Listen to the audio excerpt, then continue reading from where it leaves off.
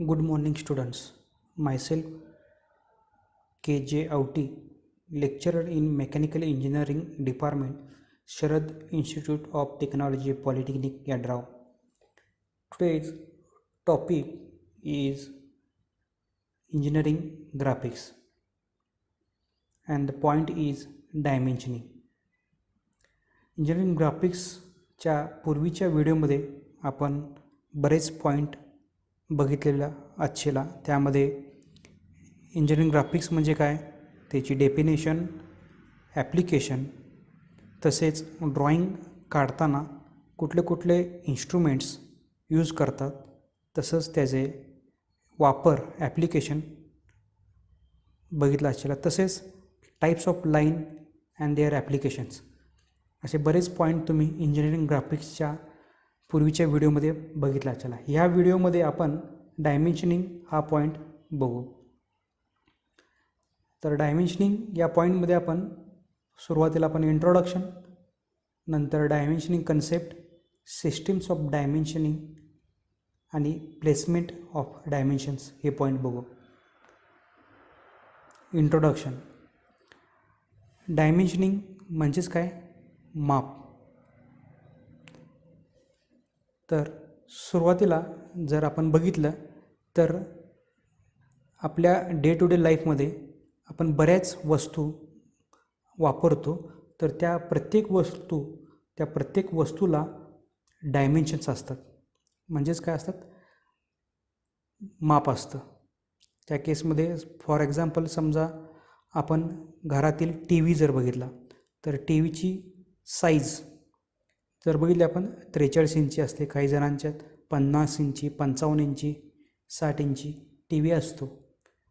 तसंच मोबाईल घ्या.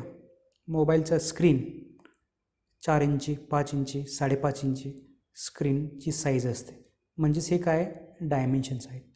म्हणजे अशी कुठलीही वस्तू नाही की ज्याला डायमेन्शन नाही आहे उदाहरण घ्यायचं झालं तर आपल्या घराचं जर उदाहरण घेतलं आपण तर बिल्डिंग बांधण्यापूर्वी सिव्हिल इंजिनियर काय करतो? की एक लेआउट तयार करतो बिल्डिंग कशी बांधायची त्याची. त्या लेआउटमध्ये ऑन पेपर डिटेल माहिती असते. त्या केसमध्ये आपण हॉल किचन बेडरूम टॉयलेट बाथरूमच्या साईज किती असणार आहे ते त्या लेआउटमध्ये दिलेलं असतं. अशा बऱ्याच वस्तू बऱ्याच गोष्टी आहेत त्याला डायमेन्शन असतंच. इंजिनिअरिंगच्या भाषेमध्ये डायमेन्शनला खूप महत्त्व आहे. ते आपण आज बघणार आहोत. तर सुरुवातीला आपण डायमेन्शन्स म्हणजे काय? त्याची डेफिनेशन आपण बघणार आहोत. Dimensioning is the process of specifying parts information by using figure symbols notes. Dimensions म्हणजे काय कुठलीही जर वस्तू आपल्याला स्पेसिफाय जर सांगायची असेल तर आपण वेगवेगळ्या फिगरमधून सिम्बॉलमधून किंवा नोट्समधून ती वस्तू काय करतो आपण डिस्क्राईब करतो. त्यालाच आपण काय म्हणतो? डायमेन्शनिंग इन्फॉर्मेशन कुठली असणार आहे त्या केसमध्ये साईजेस म्हणजे त्या वस्तूची साईज काय आहे? लांबी किती आहे? रुंदी किती आहे? उंची किती आहे? या वस्तूद्वारे ती वस्तू आपण काय करतो? या गोष्टीद्वारे आपण ती वस्तू डिस्क्राईब करतो. तसंच लोकेशन ती वस्तू कुठं ठेवलेली आहे? कुठल्या ठिकाणी ती वस्तू आपल्याला ड्रॉ करायची समजा ड्रॉईंग काढायचं असेल तर ती कुठल्या ठिकाणी आपल्याला ते ड्रॉईंग काढायचं आहे? म्हणजेच काय? लोकेशन लागतं आपल्याला. तसंच मटेरियल टाईप कुठल्या प्रकारचं मटेरियल आहे? नंबर ऑफ पार्ट्स नं किती ते मटेरियल लागणार आहे पार्ट तसंच सरफेस फिनिश किती आहे? तर त्या सगळ्या गोष्टी एका आपण ड्रॉईंगवर मेन्शन करतो. इन्फॉर्मेशन मिळते आपल्याला. त्यानं नंतर types of dimensioning types of डायमेन्शनिंगमध्ये दोन प्रकार पडतात. एक साईज ऑर फंक्शनल डायमेन्शन्स ह्यामध्ये इट इंडिकेट्स द सायजेस म्हणजेच काय? लेंथ ब्रेथ हाईट डायमीटरच्या वस्तू या ज्या आहेत. ते आपल्या ह्या केसमध्ये फंक्शनल डायमेन्शनमध्ये मेन्शन केले जातात. म्हणजे लांबी रुंदी उंची किंवा डायमीटर असेल रेडियस असेल तर ह्या सगळ्या गोष्टी ह्या फंक्शनल डायमेन्शन्स रिप्रेझेंट करतात. खाली जी फिगर दिलेली आहे या फिगरमध्ये फंक्शनल डायमेन्शन्स यस या अक्षराने दर्शवलेलं आहे. फॉर एक्झाम्पल हा पॉईंट ते हा पॉईंट याचं डिस्टन्स किती आहे? ते या यस म्हणजेच काय? फंक्शनल डायमेन्शननं रिप्रेझेंट केलं जातं. तसंच हा सर्कल जो आहे हा सर्कलचा डायमीटर किती आहे? हे दर्शवण्यासाठी आपण फंक्शनल डायमेन्शनचा यूज केला जातो. नेक्स्ट दुसरा जो प्रकार जो आहे तो आहे लोकल डायमेन्शन्स किंवा आपण त्याला डॅटम डायमेन्शन म्हणतो. It shows location or exact position of various constructional details within the object कुठल्याही ऑब्जेक्टमध्ये काही कॉम्पोनंट असतील किंवा काही एक्झॅक्ट लोकेशन आपल्याला फाईंड करायचं असेल तर ते लोकेशन फाईंड करण्यासाठी आपल्याला डायमेन्शन लोकल लोकेशन डायमेन्शन्स किंवा डॅटम डायमेन्शनचा वापर केला जातो. या केसमध्ये जर बघितलं यल अक्षराने ते दर्शवलेलं आहे. या केसमध्ये बघितलं हा जो सर्कल जो आहे काढलेला आहे तर हा सर्कल एक्झॅक्ट कुठं आहे? ह्या पूर्ण प्लेटमध्ये हा सर्कल कुठं आहे? हे जर दर्शवलं दर्शवायचं असेल तर यल ह्या शे लेटरनं ते दर्शवलेलं आहे. म्हणजेच ह्या पॉईंटपासून ह्या सर्कलच्या सेंटरपर्यंत जे डिस्टन्स दिलेलं आहे त्याला आपण काय म्हणणार आहे?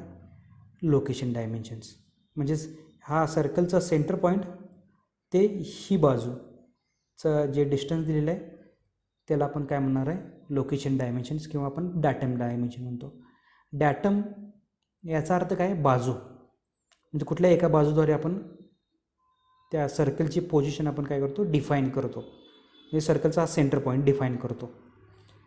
तर अशा प्रकारचे हे दोन टाईप्स आहेत. एक साईज ऑर फंक्शनल डायमेन्शन्स आणि दुसरा जो आहे location or datum dimensions next dimensioning concept आता आपण डायमेन्शनिंग कन्सेप्ट बघू. त्या केसमध्ये आपण मागच्या व्हिडिओमध्ये टाईप्स ऑफ लाईन्स बघितलं असतील.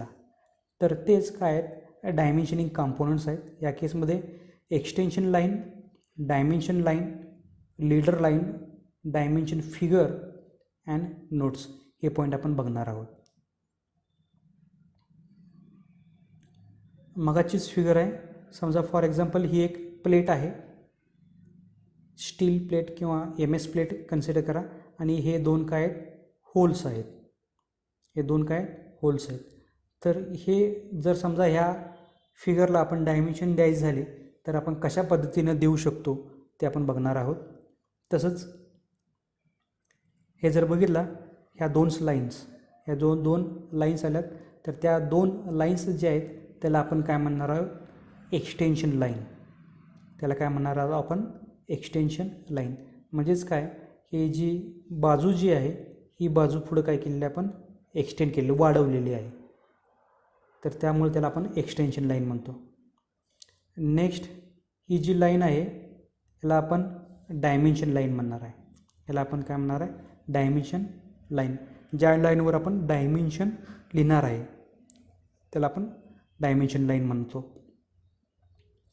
आणि हे जे आहे डायमेन्शन फिगर डायमेन्शन फिगर म्हणजेच ह्या प्लेटची लांबी ह्या पॉईंटपासून ह्या पॉईंटपर्यंत लांबी किती आहे? नव्वद एम एम तर हे दर्शवण्याचं काम कोण करतं? डायमेन्शन फिगर तसेच समजा रुंदीच्या बाबतीत जर बघितलं ह्या ज्या काय म्हणतो आपण? ह्याला एक्सटेन्शन लाईन ही झाली डायमेन्शन लाईन आणि हे झालं डायमेन्शन फिगर तसेच सर्कलच्या बाबतीत बघायचं झालं तर हे जे सर्कल जर छोटा असेल तर त्या केसमध्ये आपण ते डायमेन्शन देऊ शकत नाही. तर त्या केसमध्ये आपण डायमेन्शन लाईन एक्सटेंड करून आपण या पद्धतीनं आपण काढतो. तर ह्या लाईनला आपण काय म्हणतो? लीडर लाईन काय म्हणतो?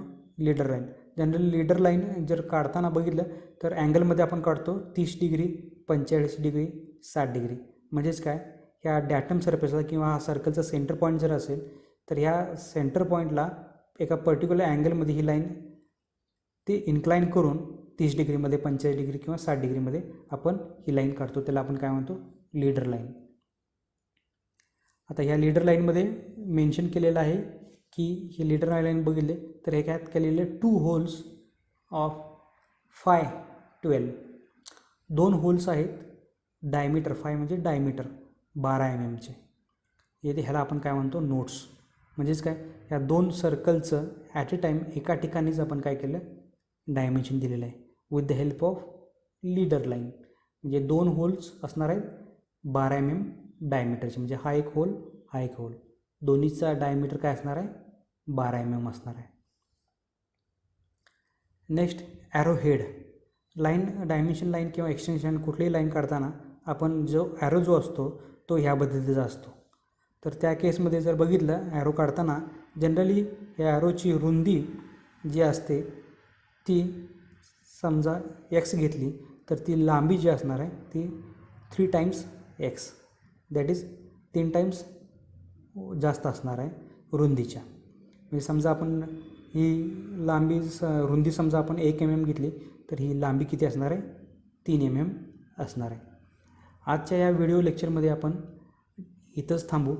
थँक्यू